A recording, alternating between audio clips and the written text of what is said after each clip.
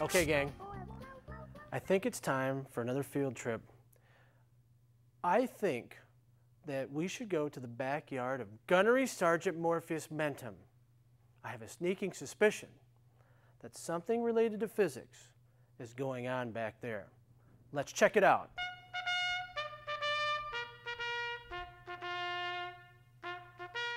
Private Stevie, I know you are short, you expect me to believe that you can't insert this straight pole in the pool water without bending it?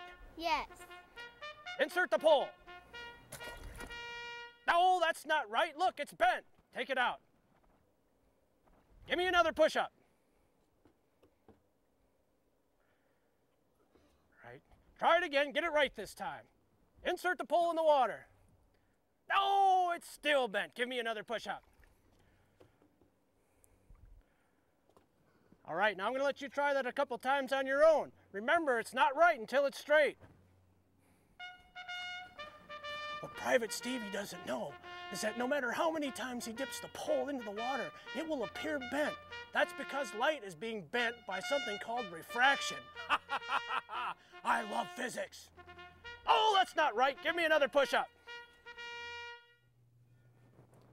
Well, obviously, Gunny has found a way to put refraction to good use. But what is refraction and what are its characteristics? Well, let's do a simple demonstration.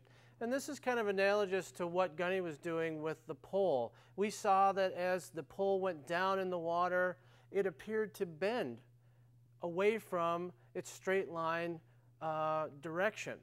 And, and, uh, and why is that? Well, let me just illustrate this. I have my massive glass cylinder of science, and I have my bowling ball of science.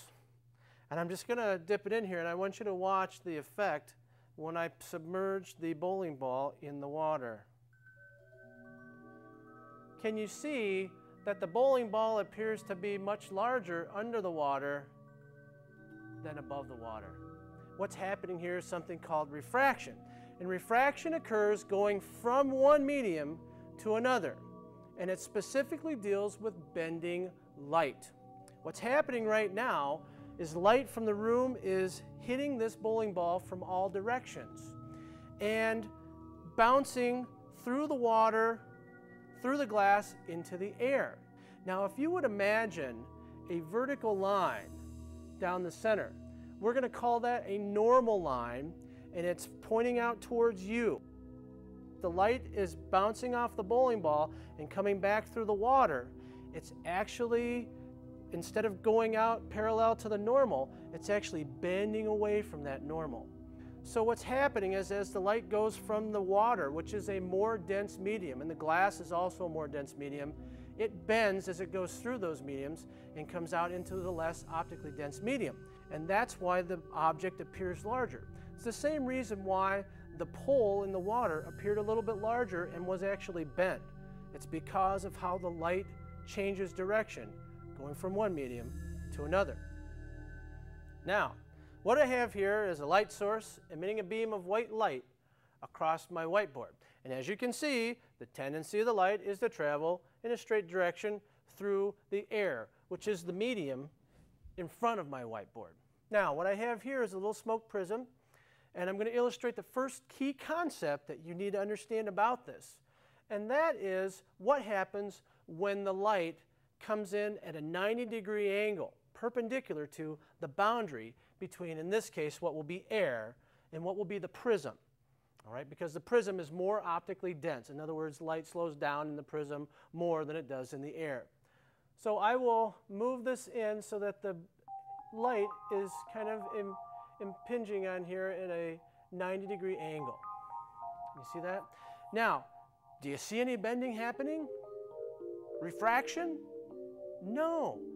At a 90 degree angle, the wave of light actually passes through the prism without refraction occurring. It's very important that you understand this key concept. Now, let's play around a little bit.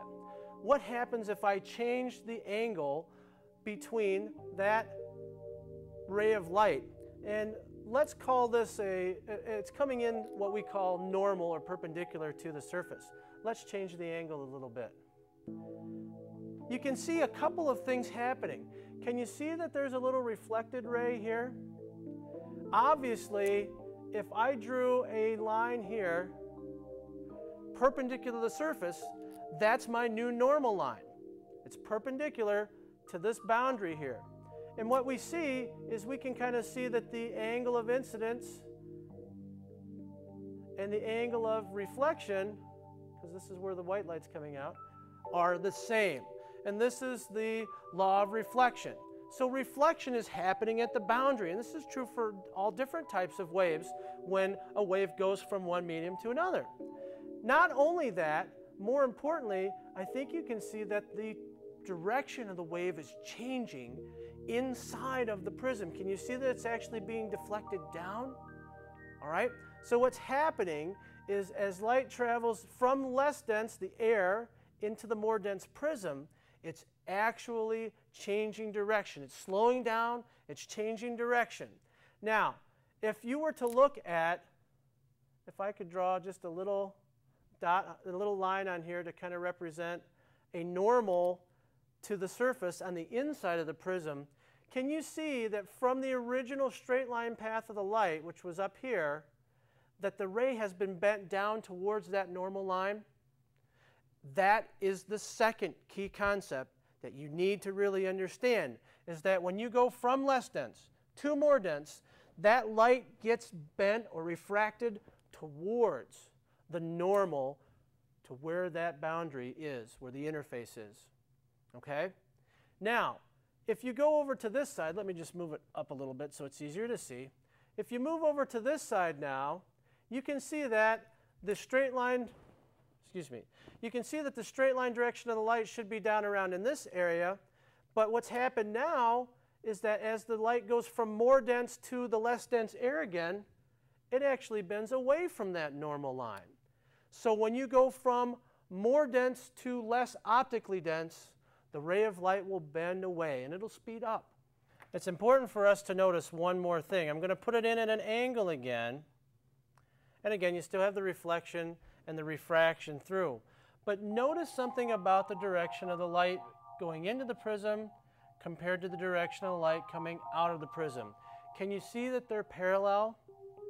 The reason for that is because the light ray going out of the more dense to less dense bends the light the same amount as the same amount as it did coming in. So we refer to this as parallelism of light.